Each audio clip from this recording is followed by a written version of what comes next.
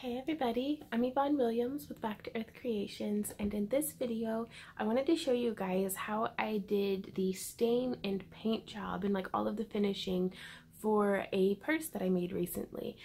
A lot of the same basic techniques for like cutting it out and tooling and everything like that I've covered in some of my other videos and I didn't really want to bog it down and make it a very long tutorial by focusing on those aspects as well. I do have a tutorial coming out soon though covering all the intricacies of making your own purse, but the techniques I'm showing you today you could use on a wallet, on armor, on a purse, on uh, whatever you want, really. If it's leather, you can do it. So let's go ahead and get started. So for this project, um, I'm using Super Sheen as a repel. You can also use the Fiebing's repel or acrylic Resin, um, but Super Sheen is what I had on hand. You can use the cap for a palette, but um, here I'm just using a regular little like paint tray because I am going to be mixing in some different pigments.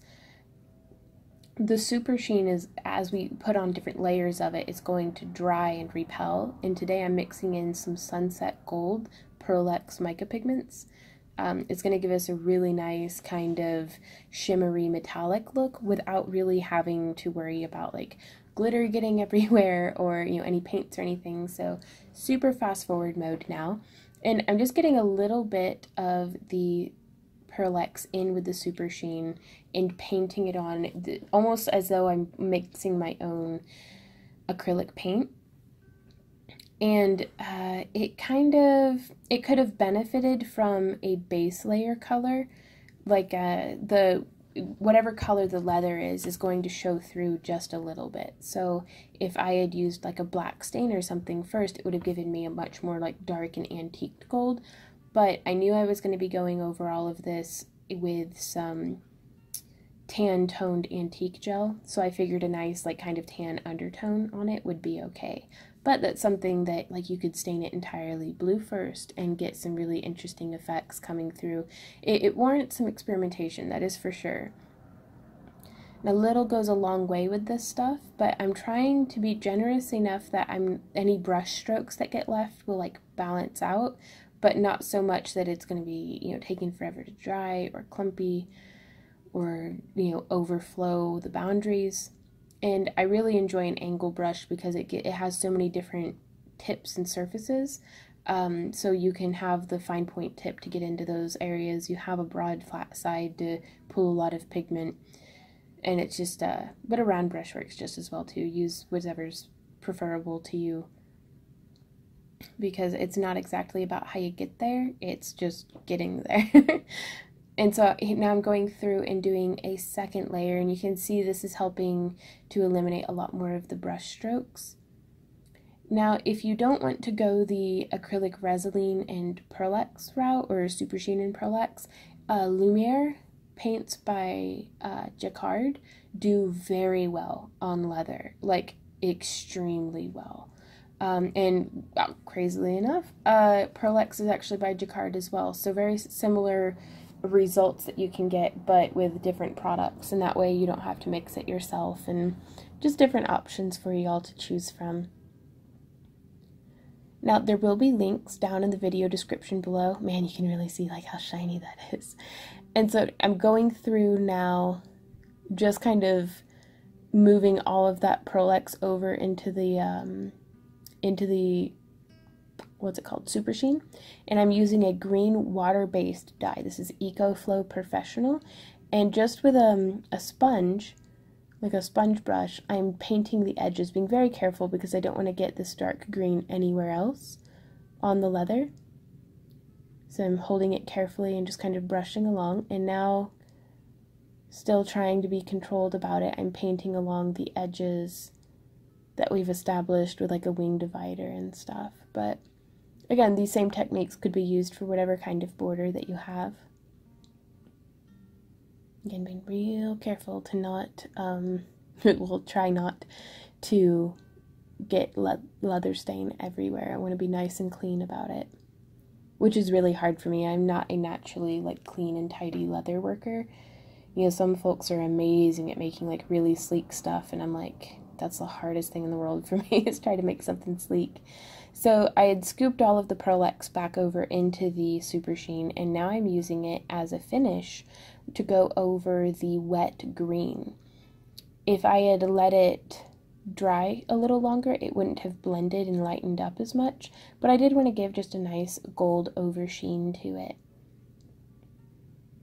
And this is a similar technique. If I hadn't put the Pearl Ex into the Super Sheen and I had let the stain dry, you could go over it with, you know, just the plain Super Sheen or something to protect that stained color, um, that paint, uh, from the antique gel layer that we'll be putting on later. Just going through being real generous with it because at this point, like the damp leather, is just going to keep soaking in and soaking in more of that Resolene. So I'm trying to get as much in on this first layer as I can because once it dries, it's going to begin stacking on itself. And here I'm experimenting using, there's still a lot of green pigment in it, and I panic trying to find something to wipe up with. Um, with the green pigment still in the sponge, I'm just sopping up the rest of that acrylic uh, super sheen. And trying to just, I don't know, experiment a little bit, see if I can't add a little bit more green in there. And I'm really happy, honestly, with the results. Like, I'm really pleased with how it came out. Doing a quick brush over on all the edges, which I've, I've done the beveling and stuff, but I haven't done any slicking because I do want it to penetrate nicely. Now, this is a tan antique gel by, uh, again, Eco-Flo. I really enjoy their products through the Tandy Leather uh, stores that I get them from. And I'm real generous with this stuff, just globbing it on there and rubbing it into all of the different nooks and crannies. Some folks like to use um, sponges or sheep's wool or different things like that to apply it. But I found for my own personal preference, I really just like some nitrile, you know, rubber gloves because you can see there just that little bit that came off on the paper towel that was all the pigment that was getting soaked up, or for lack of a better term, soaked up. Whereas with a sponge, I feel like so much of it is getting soaked up. So I just have some pads of clean paper towel that I'm spritzing water on and rubbing off the excess antique gel. And then uh, I try to keep folding to a fresh surface, checking to make sure I haven't messed up the back a whole bunch, and just really putting some elbow grease into it to get up all of the excess pigment. And you can see it gives us a nice, you know, tan tone. I've dipped my finger in and like kind of spot checked uh, where like the antique gel wasn't thick enough to start with. Now here I'm using a high performance reducer for airbrushing, but I've experimented and using just straight water seemed to get exactly the same results with a brown Eco-Flo water-based dye.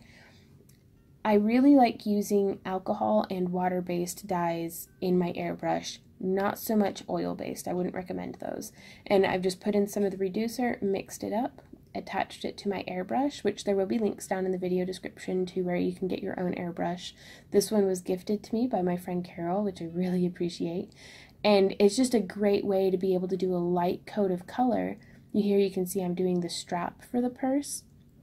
And it's kind of uh, not a fine science for sure. I'm still trying to figure out, you know, the airbrush and my spray station. And like I, need to put like a, a hanging rack that way I don't, I just feel clumsy with it. But I'm just have it pinned up against the wall of my spray spray booth and um, just spraying all the leather or the sides of it. And because normally on the underside of leather just seems to really soak up so much of the stain. And so being able to airbrush that on there, I feel like gets really nice results using almost a third of as much dye. Now here you can see to get the edges, I've just rolled it up and then airbrushing the roll, like the side of the roll. That way the edges are stained also and hanging that up to dry. And here I just have a piece of a uh, I call it squishy mat. It's like closed cell foam, I think. I don't know. They're the impact mats that you stand on in the, like the gym. Uh, but I use that that way. Uh, if I'm changing colors, I just swap out the squishy mats, and that way I don't cross contaminate like wet colors or anything. Messing about with my needle, and then now you can see here, it's really it goes on pretty light, but you can just add and build because it's always easier to go back and add more than it is to be like, uh oh, that's way too dark. I'm coming in and just really filling in, trying to not get too much, you know, overlap because I don't want it to be splotchy. My hand's pretty tired at this point. Like this was like the fifth project I'd airbrushed that day. So trying to get all the nooks and crannies. It's uh, the flesh side of this was a little bit like pithy, so it was a uh, kind of difficult to get a nice even coverage. Bringing it up to vertical to try to get, and I ran out. Oh no! So putting a little bit more of the stain in there, a little bit more of the reducer. Now, with airbrushing, it was very, very daunting and still is, honestly, but I just, I focus on cleaning my airbrush so much all the time. like, uh, because the people who are more experienced than myself have been like, yeah, you can't clean it too much. Like, just keep doing what you're doing, you'll do fine. I was like, okay. But, um, I don't know it, it, this honestly just doing the back sides of the leather felt really straightforward and doable so i was like i think i can do this and i'm just adding up building up layers and layers you can see it was starting to pull a little bit and i'm doing a little bit more second coat on the uh, uh, belt strap but yeah so you can see a little bit better just pinning it and now I've let everything dry. And that was something that before I did the antique gel, I let it dry completely, like about four or five hours. And so I'm going through with Aussie Wax, which is like a beeswax and oil blend, and just buffing that into the surface of the leather. And I find that that not only seals it, but it helps repel water and it conditions the leather. It makes it really nice. I really like using this horsehair brush um, for like shoe shining because it gets into all the little crevices. And I put a little bit too much uh, for what I probably should have on the back side of this leather. So I'm buffing it in. It ended up uh, soaking in just fine though. But yeah, again, it's always easier to go back and add more than it is to try to take some off. So now I'm going through, putting in a little bit more elbow grease, doing the edge slicking. And that is basically in a nutshell, how I did this style of paint job, which I felt like gave a lot of depth, a couple of different tones. It was really fun to get to do a lot of like kind of painting, painting, which is very cathartic. It's not just slapping some antique gel on. So I was really, I was really pleased with that. Buffing it with just some clean denim. But yeah, and that's how I did it. Hey y'all, thanks so much for hanging out with me for this video. If you have any questions, comments, or ideas, please leave them down below. I, I do hope that this was helpful to you. Um, I know that with leatherworking, there's so many different routes that you can take to get similar results. And it, I know for myself, I, I would very easily get overwhelmed with like, well, there's like five different products that do the same thing. Which one do I use? Am I using it right? Like, I don't know. And the biggest, the best advice that I wish I could go back and give myself is like, just pick one and do it. Just whatever you have on hand, just do it. you'll, you'll get the hang of it. You'll build more confidence. You'll get more experience under your belt. And the more you do it, the you know more you'll have learned, and the more you'll have to draw from for future projects. So, again, I thought by sharing my experience uh, with this one project um, might lend y'all some insight for your own projects or for you to see it and be like, I'm not doing it that way. so, um, if you enjoy my tutorials and would like to support the creation of more of them, as well as participate in my craft crates, my digital download content, my behind the scenes content, and all the different things that we do here at Back to Earth Creations, please consider blah, please consider joining me over on Patreon. If you see the tripod shaking, it's because my cat is rubbing on it. Very serious. She's a cutie. Upper management has to come in and micromanage. Um, but yeah, feel free to check us out over on Patreon. You don't even have to be a pledger. Like, pledges do start at just a dollar a month, but I post all sorts of stuff that you can access even if you're just following with a Patreon account. So, um, also, please like, share, subscribe, tell your friends, all that good stuff. But until next time, y'all, happy crafting. Mm. Bye.